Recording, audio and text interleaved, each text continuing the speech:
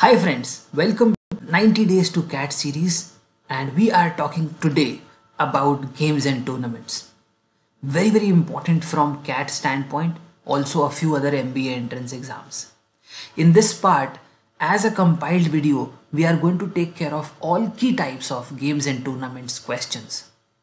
Primarily, we are dealing with three scenarios a seed based tournament, which includes knockouts, group or league based tournaments, including round robin, and finally, the tabular or point based questions.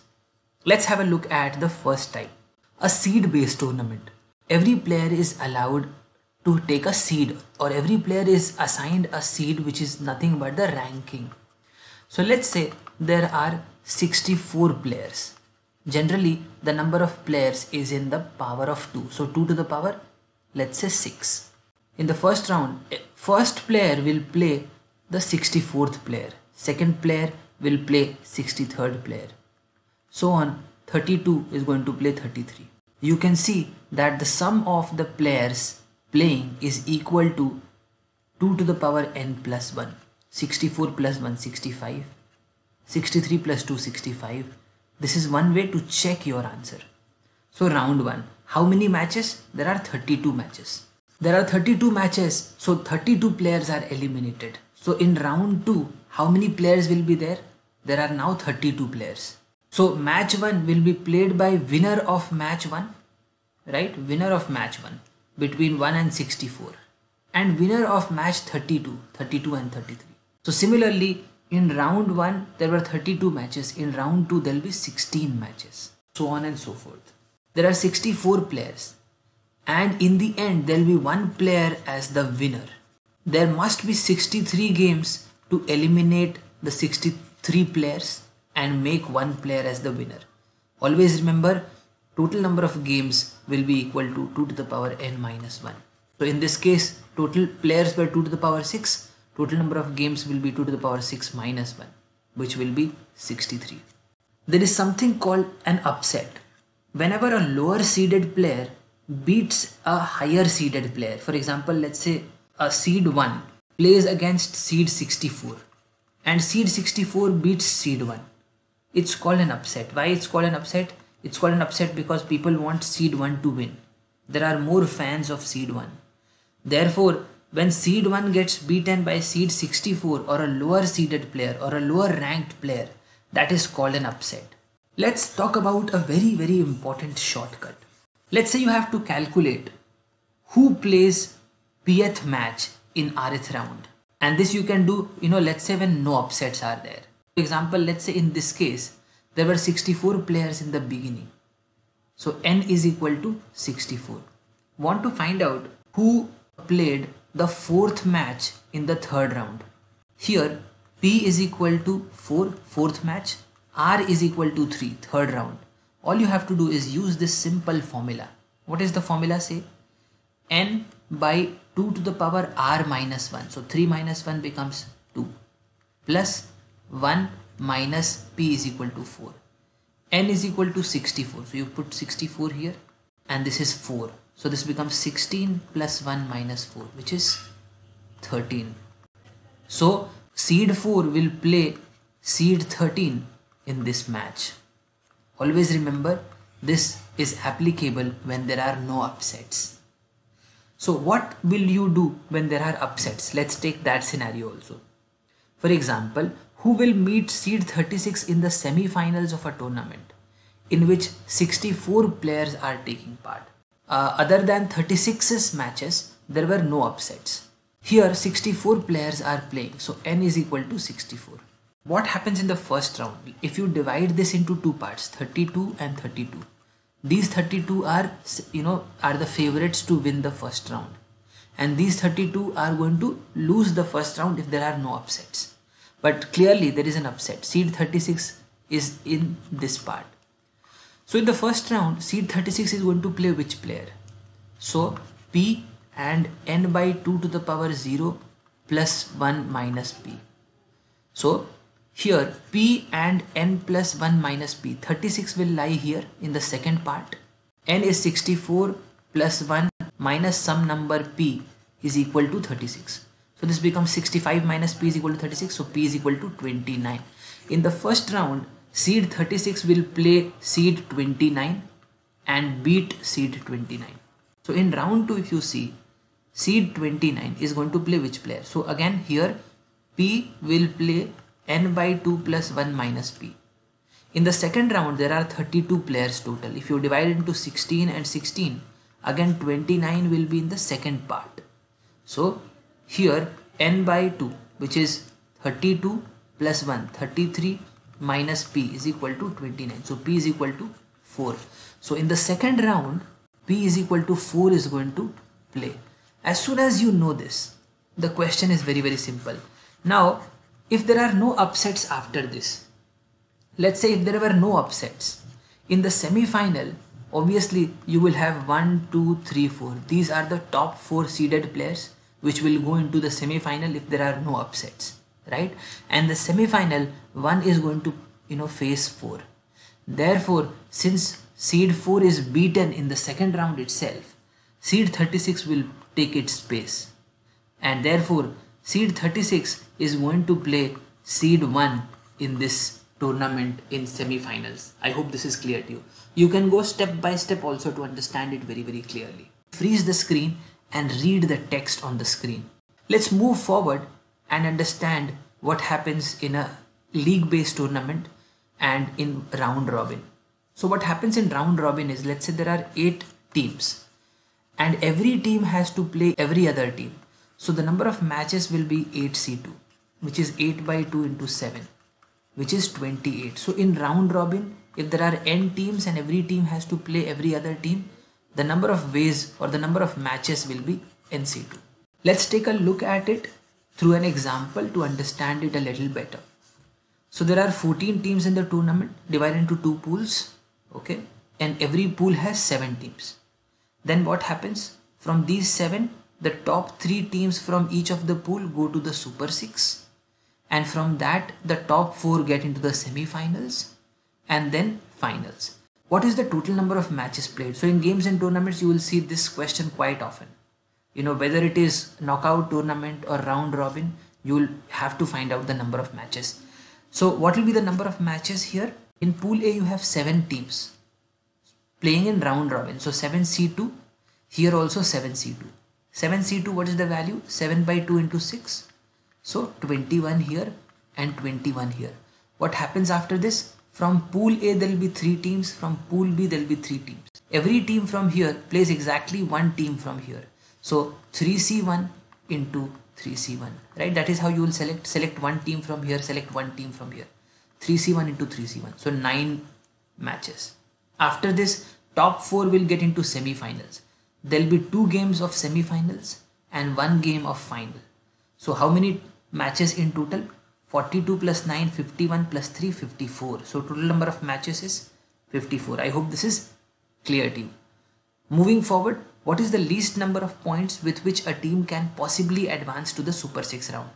So let's say in the pool A, there are 1, 2, 3, 4, 5, 6, 7. So what are the teams that will go to the Super 6? Team 1, Team 2 and Team 3 will go to the Super 6. Now Team 3 has to go to the Super 6 with least number of points. So generally there are 3 winners of a pool and 4 losers of the pool. So these losers are eliminated, right? If 3 has to go to the next stage but with the minimum points, this 3 has to play like the other 4 losers. So these 5 teams will play like losers, these 2 teams will play like winners or the bosses. And and 3 will just get a little lucky to be there in the super 6 right? That's how it will happen right? You've seen it in several tournaments. A team getting a little lucky sometimes net run rate or any other criteria. See the first one has to play 1 2 3 4 5 6 six teams. And let's say beats all the six. So therefore 6 into 2, 12 points. Talking about second second ranked here second ranked team.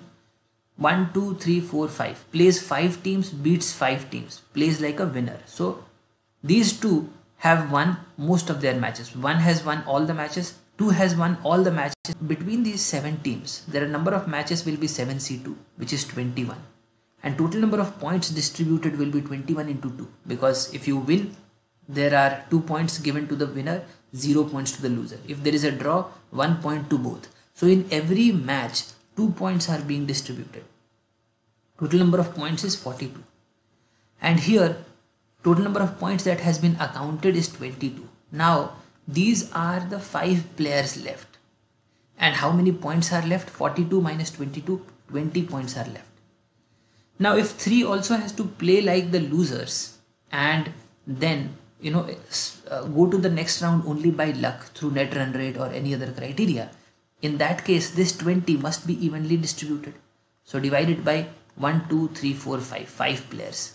So divided by 5 so with 4 points team 3 can go to the super 6 by being a little lucky. Similarly the next question what is the maximum possible number of points that can be scored by a team and still be eliminated? Again have a look at pool a there is 1 2 3 4 5 6 7 which team can play the best and still be eliminated? That will be team number 4 right? Team ranked 4 has played the best and yet will be eliminated. Why? Because you can only send top 3 teams to the next round. So what will happen in this case? This ranked 4 team what will they do? Although they are part of the losers it will play like the top 3 winners. So in this game top 4 players will play like the winner. This guy played like a winner but became unlucky and therefore could not go to the next stage. And there are three players who play like losers. So this is similar to the last case. Total number of points in the pool stage for pool A will be 42 let's say 7 loses all the games. So then 0 point. 0 point 6 wins against 7 so 2 points. 5 wins against 6 and 7 so 4 points. So total 6 points have been distributed out of 42 so total remaining is 36 now all these winners will play all the four will play like winners. So if i distribute 36 there are four teams. So four. Number of points with each team is 9 so this also scores 9 scores 9 scores 9 scores 9 team 4 scored the maximum that it could and got a little unlucky because of net run rate or any other criteria and hence could not pass the pool stage. So maximum number of points that a team can get and still be eliminated that is point number C. That's the third option. What is the minimum number of matches that can be won by a team that reaches the finals? It's very very interesting. See in the pool stage there are seven teams right? Now in this case it may happen that none of the teams win any of the matches. Let's say all the all the matches result in a tie.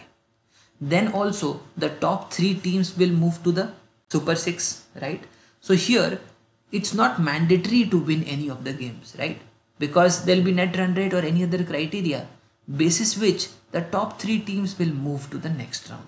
So there are you know three three teams from pool A and three teams from pool B they will play one match with each other. Now in this case also, think about it. There are top 4 players that are decided on the basis of points. Let's say all these matches again result in a draw. Then also you will rank the 4 players basis net run rate or any other criteria. So here also, let's say all the matches result in a draw, you will get the top 4 players. There will be two semi-finals. To go to the final, must win this game right? Semi-final is an eliminator. In an eliminator you can't you know play a draw. There'll be a tiebreaker always to reach the final. So minimum number of matches that can be won by a team and reach the final the answer is one. I hope this is clear to you. Let's move forward and have a look at another type of question which is point based or point table based caselets. So given below is a table uh, at the end of the hockey tournament there are five teams as you can see. For each win two points are awarded and for draw one point was given. For losing obviously zero point. Now we also know that south africa spain match was a draw. No two teams have the exact same count for win draw loss. And australia has won more matches than spain. Figure out the result of every match from the table given below. So there are two tables here. One is, you know, the summary table capturing the number of matches played, won, draw, lost and total points. And the next, which is a little, you know, elaborate talks about every match. So India versus Pakistan, what is the outcome? The diagonal obviously has been crossed because India will not play against India. Pakistan will not play against Pakistan, so on and so forth. So let's have a look at it. There are five players will play in a round robin fashion. So number of matches will be 5c2. So 5 by 2 into 4. So total 10 matches will happen. In every match 2 points will be distributed. So total number of points will be equal to 20. So 6 plus 6, 12 plus 3, 15 plus 3, 18. So South Africa must score 2 points. South Africa Spain match was draw. So Spain versus South Africa. You can write draw here. So South Africa and Spain will also be draw. Note that there will be a double entry in this table. Because if one team wins, let's say India wins against Pakistan, Pakistan must lose to India. So whenever you enter a win here, you must enter a lose also here. Otherwise the table will not get completed. No two teams have the exact same count for win, draw, loss. Right? Now see, India has not lost any match and scored 6 points. The possibility can be, because there is no losing, the possibility will be 2 wins and 2 draws. Right? So every team will play 4 matches so that we can very easily fill. India wins 2 and draws 2. 2 into 2 is 4 plus 2 is 6. Pakistan also scores 6 but obviously Pakistan cannot score like 2 win and 2 draws because you can't repeat the combination. So the possibility in case of Pakistan is 0 draws, 3 wins and 1 loss. So 3 into 2 is 6 and the number of points have been satisfied. Now we know that Spain definitely played one draw with South Africa. We also know that Australia has more number of wins than Spain. Now in, in 3 points Australia could only win one game. So one winning and one drawing. So Australia has played four, one win, one draw and two losses. Spain also has to get three points but can't get in this manner because can't repeat this combination. So Spain can get three points by getting three draws, zero win and one loss. Now South Africa has to get two points. We know that South Africa has played one draw already. So the best possible scenario is two draw and two loss, zero winning. So the summary table is now complete. Let us now try and use it here. We know that India has lost no match Pakistan loses only one match, wins all the other match. Must mean that India wins against Pakistan so winning here and losing here. As soon as we know, Pakistan won all the other matches. So Pakistan wins against Australia. So Australia lost against Pakistan. Pakistan wins against Spain. So Spain lost against Pakistan. Pakistan wins against South Africa. South Africa lost against Pakistan. Spain will play three draws and one loss. So one loss is done, so three draws. So Spain and India is a draw. So India Spain is a draw. Spain Australia is a draw. So Australia Spain is a draw. Australia has to win one game. Since India did not lose any game, Australia must win against South Africa. So Australia wins against South Africa. South Africa must lose to Australia. South Africa has two draws and two losses. So two losses are done. So one more draw South Africa has to play. South Africa will play draw with India. So India and South Africa is a draw. Now India has to win two games. So India will win against Australia. So Australia must lose to India. So this table is also complete. You know the outcome of each and every game. Plus you've also calculated the points in this table. With that, we come to the end of this exercise. I hope you've understood each and every type of problem that comes in CAT. Solve more along this path and we'll see you in the next part. I hope you're enjoying it. Take care. God bless you all and keep sharing with other aspirants also you know such so that more and more people can be benefited thank you god bless you all